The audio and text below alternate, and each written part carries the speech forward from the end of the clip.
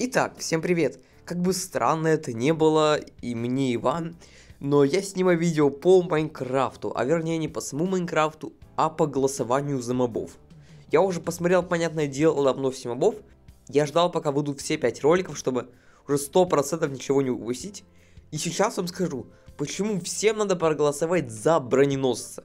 Такое вот мое мнение, я его аргументирую четырьмя фактами – Почему именно броненосец, как по мне, самый лучший моб в этом обновлении, то есть из этого голоса? И почему краб на самом деле не настолько хорош, как про него все говорят?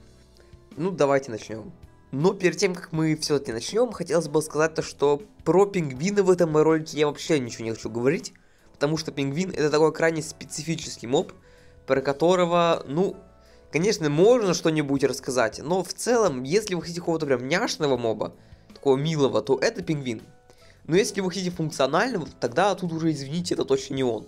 Поэтому можете сразу же закрывать это видео, если вы про него, потому что я хотел бы поговорить про сравнение именно краба и броненосца. Пингвин, он как бы, ну, немножко вне всего этого, потому что он как бы даже создан изначально для другого. Так что теперь поговорим про броненосца.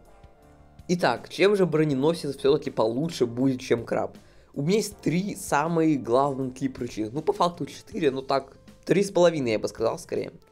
Смотрите, первая причина это то, что он моб из саванны. Про это и так уже все сто раз сказали, поэтому опять же не вижу смысла про это как-то распинаться очень сильно. Скажу то, что в мангровом болоте и так уже есть лягушки. Это уже самый атмосферный биом в игре. Он самый проработанный, ну или как минимум один из самых. Саванне нужны новые мобы. И когда у нас будет обновление саванны, непонятно. Оно будет, но нам не ясно, как бы, да, когда. И зачем ждать? Мы можем прямо сейчас там добавить нового моба потому что в саванне крайне их не хватает. Так что, как по мне, ну, моб в мангровых болотах, как бы, на халяву. Конечно же, это круто.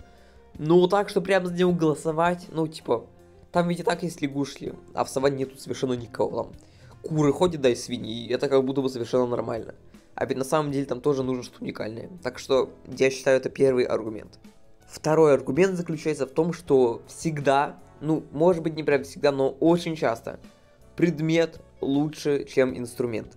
Инструмент и предмет, в чем разница? Смотрите, вот, допустим, у вас будет такой выбор.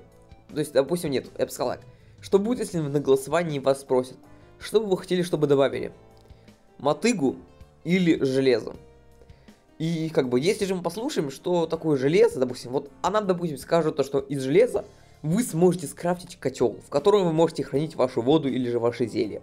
А мотыгой вы сможете делать фермерство и мы вам сделаем кучу новых семян, всего этого.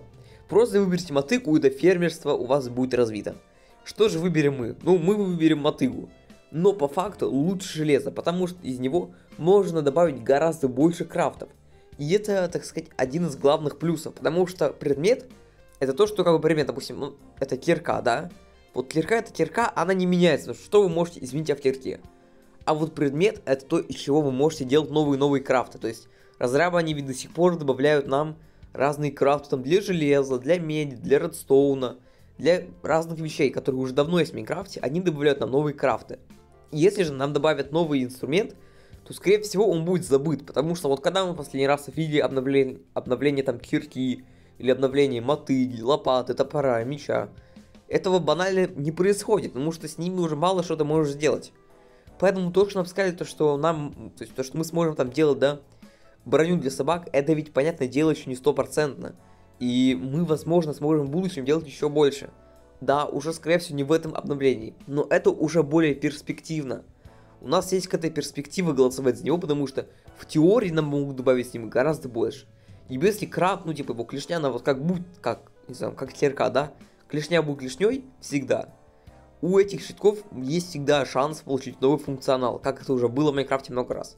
Поэтому это такой второй аргумент, то что всегда предмет будет лучше, чем инструмент. И это крайне важно понимать, потому что надо ведь знать еще и потенциал, который есть у разных вещей и у мобов.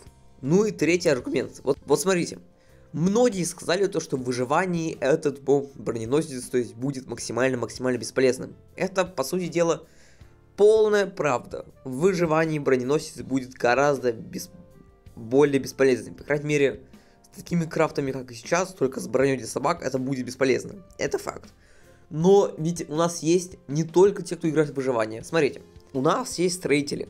Строители это явно те, кто строит. И им очень-очень много всего обновляют. Им каждое обновление добавляют там по 20 плюс новых блоков. И как будто строительство, оно не стоит на месте никогда. Вот, например, даже в 1.20 там добавили эти да, таблички, которые свешиваются. Это крайне сильно все разнообразило. Так что, ну, им и так постоянно все добавляют. А также у нас есть те люди, которые батлятся, те, которые придумывают какие-то классные файнды, можно, файты, можно сказать. Допустим, вот нам добавили Вардена, и как бы все обрадовались, потому что это был с какой стороны даже немного челлендж, да, чтобы победить Варна. Допустим, ты там одеваешь назритовую броню, и ты его пытаешься победить. Ну, это ведь прикольно, скажите. И это...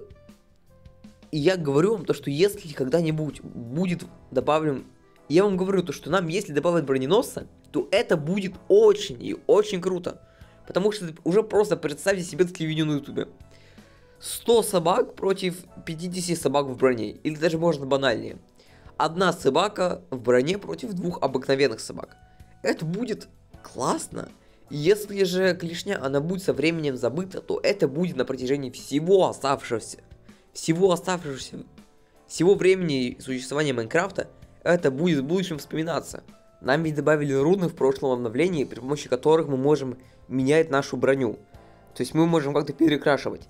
И это по-любому будет также с собаками. Более того, я могу вам сказать, что скорее всего, нам, ну это не скорее всего, но возможно, нам найдут также способ перекрашивать эту броню в котле, как, например, кожаную броню. Это такое тоже возможно. Я уверен, что разрабы, они у нас уже добавили столько способов как-то улучшения кастомизации брони. Например, у лошади, у нее ведь имеет железная, алмазная и золотая броня. Ну так почему же нам это не сделал для собак? Нам все не сказали, но нам никогда не говорят все в этом голосовании. Сами этого, надеюсь, понимаете. Так было с крабом. Условно говоря, нам не сказали, на сколько блоков будет ставиться эта крабовая рука. Тоже небольшой минус, да? И тут нам не сказали, как бы, какое мы можем будем делать взаимодействие с этой броней. И оно по-любому будет. Представьте себе, допустим, там, там команда крас, собак в красном против команды собак в синем, допустим, там. Вы объединяетесь, ну, типа, это ведь просто будет классно. Например, люди смогут PvP против, допустим, смогу ли я убить 10 собак это деревянным мечом в броне. Это же будет просто классно, это будет очень сильное разнообразие, потому что со временем, как я уже, как я уже говорил, эта клешня краба, она забудется, потому что, ну что, билдером она была бы, возможно, полезна, но это не то, на что надо обращать внимание прямо сейчас. А вот такое, это может даже как-то возродить популярность Майнкрафта, потому что это еще новый вид собак, можно сказать. Поэтому давайте еще раз все факты сложим вместе. Во-первых, это будут мопы саванны.